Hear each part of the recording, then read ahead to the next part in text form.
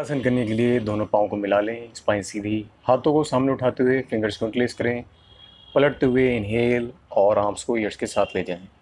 Now inhale करते हुए further heels को ऑफ़ कर लें। बॉडी टोज से फिंगर्स तक एक लाइन में हो। हाथों को कानों के साथ खींच के रखें।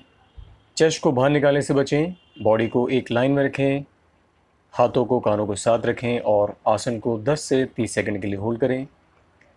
सांस नॉर्मल रहे। छोड़ने के लिए आसन को, अपने हील्स को नीचे रखें और हाथों को अपने सामने लाएँ। फिंगर्स को रिलैक्स कर दें और समय स्थिति में। तो आई होप व्यूअर्स आपको ताड़ासन करने का तरीका पता लगा होगा।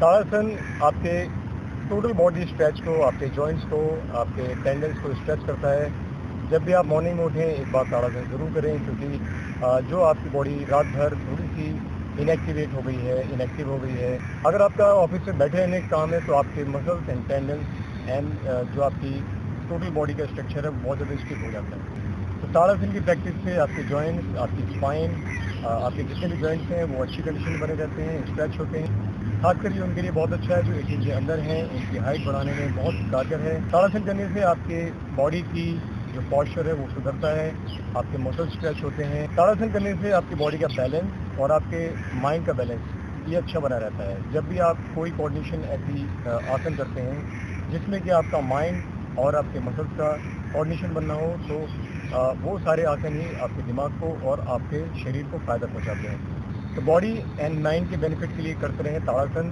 ताड़ासन बहुत ही अच्छा आसन है। की प्रैक्टिस